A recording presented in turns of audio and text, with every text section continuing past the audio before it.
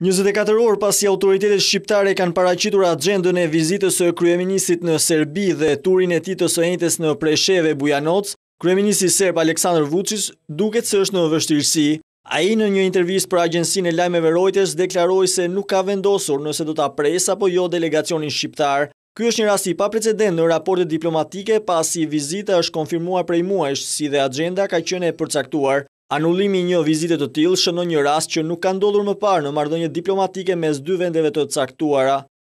Nuk do të vendos deri në fundjavë nëse ata do të jenë apo jo të mirëpritur. Ne nuk u frikësohemi bisedimeve, por duket se dikush nuk dëshiron të bisedojë, por kërkon që të kërcënojë Serbinë dhe të përhapë paqëndrueshmëri në rajon. Unë mund ta shoh atë dhe këdo tjetër në sy.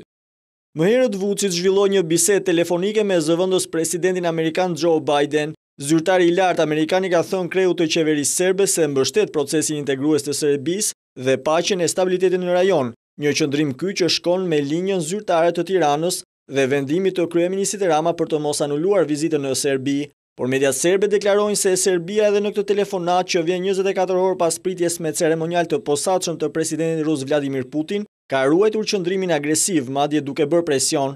Madje nëse është i vërtetë citimi i mediave serbe, kryeministri serb mësohet t'i ketë vënë edhe një kusht numrit dy të Uashingtonit, SHBA-ja duhet të zgjedhë mes Shqipërisë së Madhe dhe Serbisë normale, por zëvendëspresidenti Biden i është përgjigjur se nuk ka Shqipëri të Madhe.